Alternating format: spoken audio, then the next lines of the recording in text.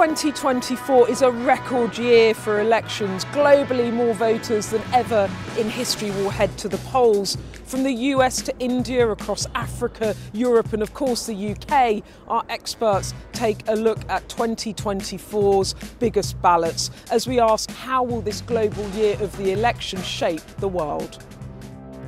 Well, let's kickstart this election explainer with the United States, surely the most high stakes election this year.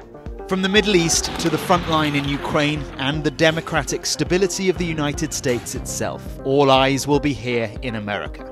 And it is time to brace yourselves for some familiar faces because, yes, it's Groundhog Day here. It seems as though we're hurtling into a Trump Biden rematch, and the result could mould not just America's future, but the world at large.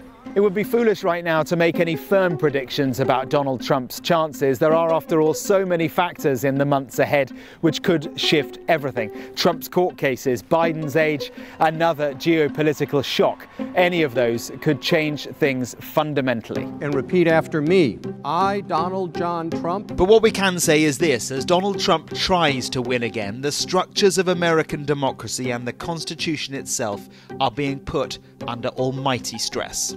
The polls right now suggest a Trump Biden rematch would be close.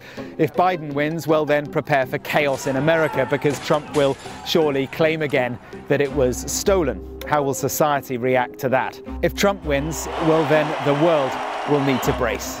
As the old saying goes, when America sneezes, the world catches a cold. Well, the world already seems to have a cold. So, what could a Trump return mean? Well, the Western alliance would be tested once again. But this time, would Donald Trump follow through on threats like leaving NATO? He says he will solve the Ukraine war in a day, but how? Capitulate to Putin, maybe? And what would that tell China about American defense of Taiwan? Listen to this on the campaign trail. One of the presidents of a big country stood up and said, Well, sir, uh, if we don't pay and we're attacked by Russia, will you protect us? I said, You didn't pay? You're delinquent. No, I would not protect you. In fact, I would encourage them to do whatever the hell they want. You got to pay. So is this just Trumpian rhetoric? He doesn't really mean it, does he? People around him would check on his most controversial policies, wouldn't they? That's the thing. No one really knows. And Trump 2.0 would differ from the first term. He is no longer a novice. The Middle East raises some really interesting questions. Rarely do foreign policy issues play big in America's voters' minds, but this year is different.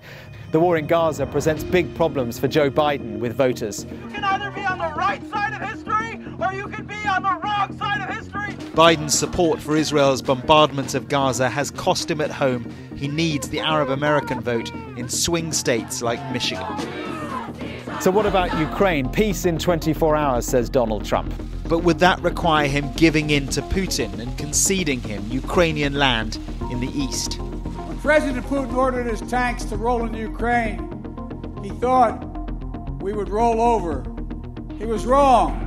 Even if Biden does beat Trump, the mood in America for supporting Ukraine is waning. And so expect some shift in American policy towards Ukraine either way, increasing the pressure on Europe and maybe the jeopardy too. So much is at stake in this, the most consequential of American elections, and at a time when this nation's global clout and global influence seems to be shifting so profoundly. As they like to say here, buckle up. Is it also going to be a general election year? Yes. Meanwhile, here in the UK, we're expecting an election. Prime Minister Rishi Sunak has announced he intends to call it in the second half of 2024. It could be October, it could be November. So, what could happen? Well, early polling suggests we'll see the first change of government in 14 years, with Labour leader Sir Keir Starmer predicted to be the next Prime Minister if the polls are right but a lot could change between now and the election. Lovely to see you. Keir Starmer hasn't wasted any time setting himself up on the world stage as a leader in waiting. He's already met with leaders from Canada, France, Norway, Australia, Greece, and Brazil, to name but a few. So, what could a change in the governing party here in the UK mean for our global relations? Well, it isn't likely to bring any seismic shifts in certain areas of foreign and defence policy, like support for NATO, Ukraine, or relations with China. But what could it mean for our special relationship with the US? Let's talk about the, the, the, the so called, in inverted commas, special relationship. It's been rumoured that Sir Keir's team has been working to strengthen his relationship with President Joe Biden. But some have questioned how well the PM in waiting would cope with the alternative, the return of Donald Trump. The two certainly aren't natural bedfellows, and it's hard to picture them revelling in that special relationship. We can't get to net zero without nature. And what about the UK's reputation as an international climate leader? Britain's election will likely turn the quest for net zero into a battleground. Can we turn to Sky? Can you honestly say, hand on heart, that none of the people you've spoken to today have brought up or raised any concern about the recent changes you made in green policy? Hand on heart, 100% no. Under Rishi Sunak, the UK has made a number of U turns on green policies, from granting new licences for oil and gas projects in the North Sea to delaying the ban on diesel and petrol cars.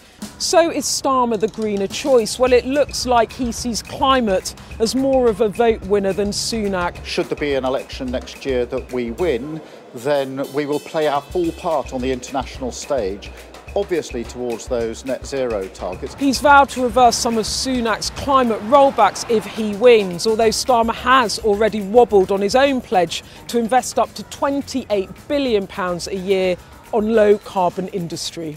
But if Starmer won, would he put his money where his mouth is? The Sky News scoop has shown the real Keir Starmer. He wants to return us into the EU, effectively.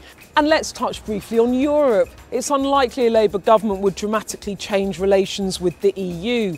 But dealing with a pro European party would likely be a welcome change for Brussels after often rocky relationships with an assortment of Tory PMs. But Starmer won't be reversing Brexit anytime soon. The former lawyer is cautious when it comes to the EU and has ruled out rejoining the single market. Irregular migration is a European challenge and it needs a European answer. Now let's take a look at the rest of Europe. From a host of national elections to voting for the European Parliament, the spotlight this year will be on war, migration, and the rise of the far right.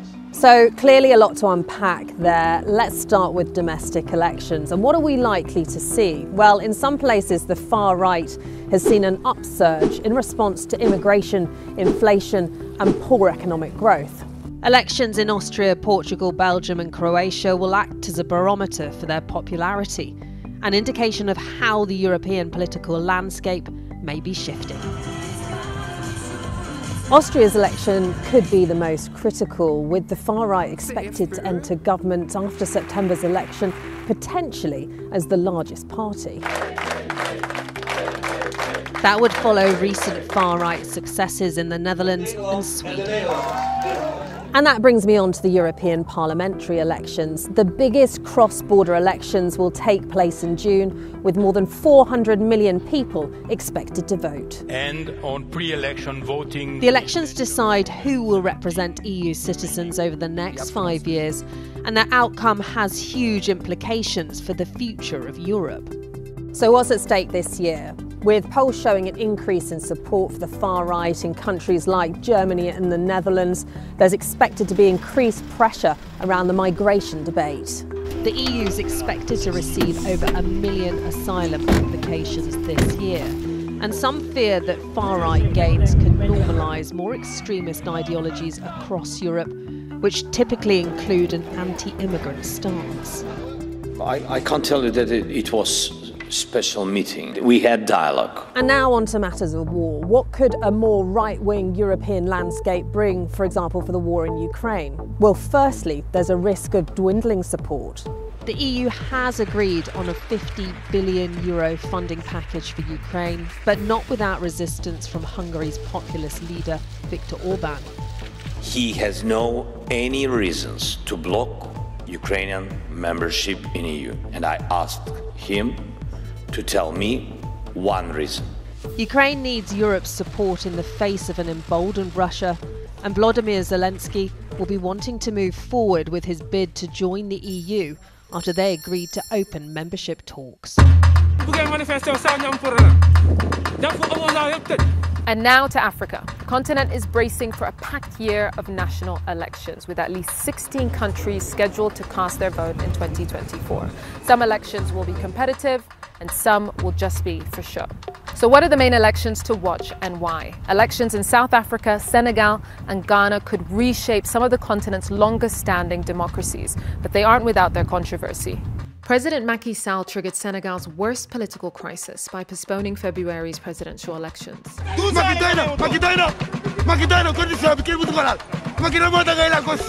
A move called a constitutional coup by protesters and opposition leaders in a country once hailed as West Africa's healthiest democracy has since been overturned by the Constitutional Council. Je suis pour un processus inclusif, transparent et apaisé qui permette un passage de relais dans la douceur et dans la paix. And while Senegal waits to elect its first new president since 2012, increasingly large numbers of Senegalese migrants are making the dangerous journey to Europe. Could new leadership inspire them to stay? Ghana's President Nana Akufo-Addo will also be stepping down after completing his second term in office. There's never been a more humbling moment in my life. And I thank you, the good people of Ghana. The presidential candidates are anything but new, with the current vice president and a former president competing for the top seat. Now let's talk about the main attraction, an election that marks 30 years since Africa's most iconic vote to date.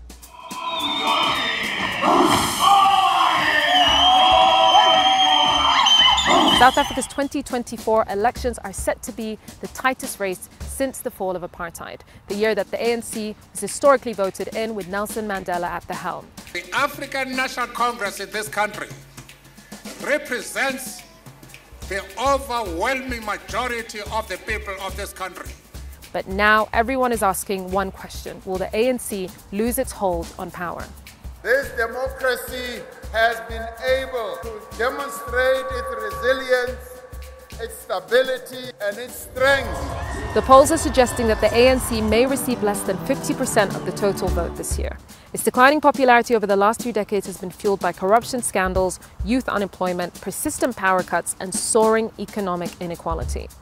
We today are sending a clear message that in this election, we are in it to win it.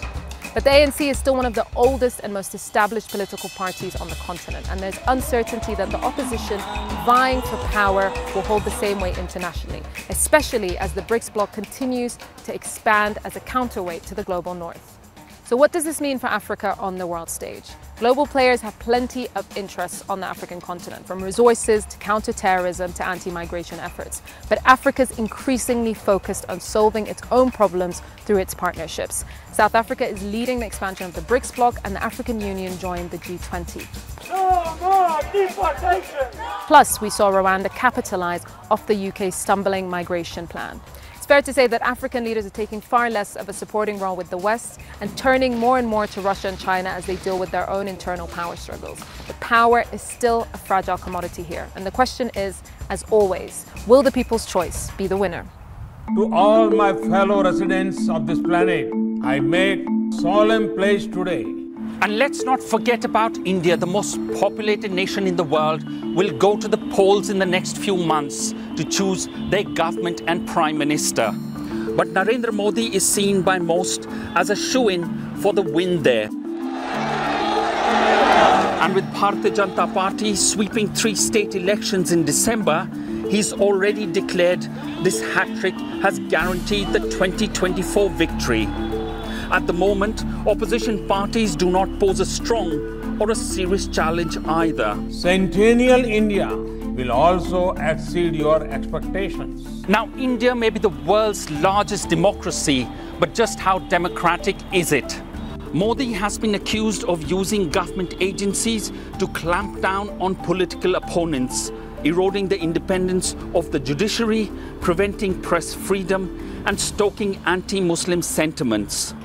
So the fear amongst his critics is that his victory, albeit within a free election, would allow him to bring in policies which undermine democratic institutions.